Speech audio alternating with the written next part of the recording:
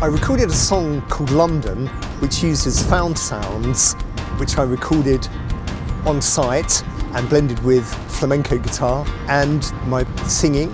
Oh, London, I can't fit. I can't fit all I want.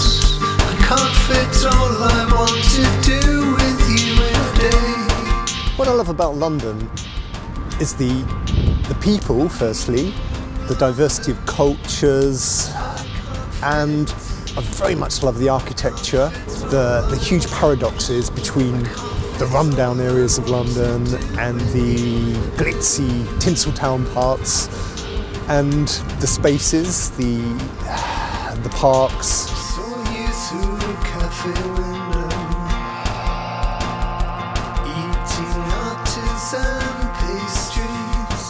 The lyrics talk about the, the dark and light sides of London, the, the people that enjoy the vibrancy of London, the excitement, and also the people that perhaps have a, a more difficult time living here.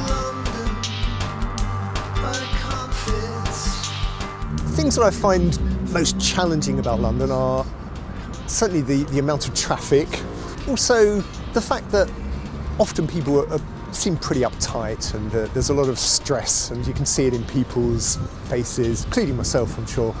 Uh, anxiety, people running for trains in a, a real hurry and not always having time to stop and look around and listen and enjoy all the wonderful things we have around us.